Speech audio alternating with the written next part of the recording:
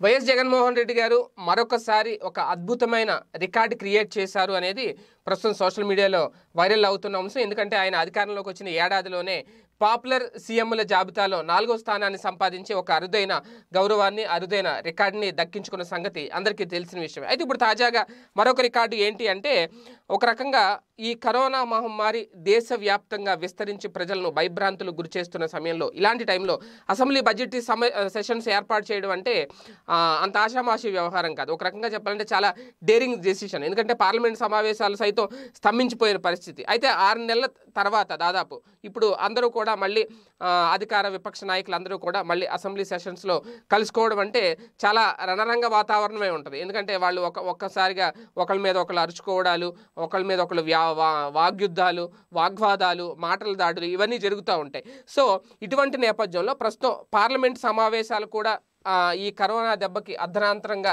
నిలిచిపోయిన నేపథ్యంలో జగన్మోహన్ రెడ్డి గారు అసెంబ్లీ మీటింగ్ని చాలా జాగ్రత్తగా ఏర్పాటు చేయడం. అంటే దూరం సోషల్ డిస్టెన్స్ పాటిస్తూ ప్రతి ఒక్కరు శానిటైజర్స్ యూజ్ చేస్తూ అతి తక్కువ టైంలోనే బిల్లులన్నీ ప్రవేశపెట్టాడు. అలాగే బడ్జెట్ను కూడా ప్రవేశపెట్టేస్తూ ఒక ఒకటి రెండు రోజుల్లోనే ఈ సమావేశాలు ముగించాలి అనుకోవడం నిజంగా ఒక అరుదైన రికార్డే అనేది ఇప్పుడు సోషల్ మీడియాలో వైసీపీ శ్రేణులు చెబుతున్నమాట ఇటువంటి రికార్డు క్రియేట్ చేసిన ఘనత జగన్మోహన్ రెడ్డి గారికి దక్కుతుంది అనేది. ఎందుకంటే పూర్తిగా సమావేశాలు పెట్టకపోతే బడ్జెట్ పరిస్థితి ఏంటి అనేది ప్రశ్నార్థకంగా ఉంటుంది. ఇలాంటి నేపథ్యంలో సోషల్ డిస్టెన్స్ అనేది ఖచ్చితంగా పాటించాలి.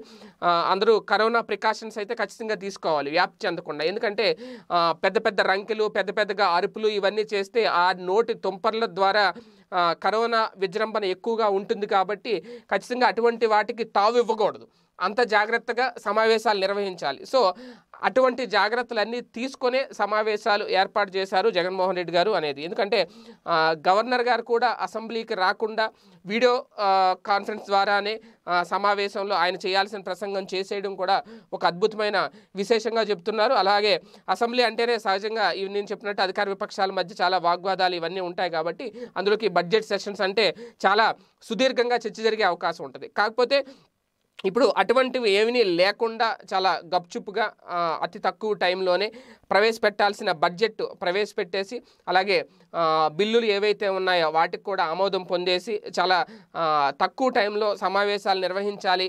ఎటువంటి రసవత్తర రాజకీయానికి అవకాశం లేకుండా చాలా అద్భుతంగా బడ్జెట్ సమావేశాలు ఏర్పాటు చేసి ఒక రికార్డ్ అయితే నెలకొల్పారు జగన్మోహన్ రెడ్డి గారు అనేది ఇప్పుడు ప్రధానంగా వైసీపీ శ్రేణులు సోషల్ మీడియాలో చేస్తున్న ఒక ప్రచారం.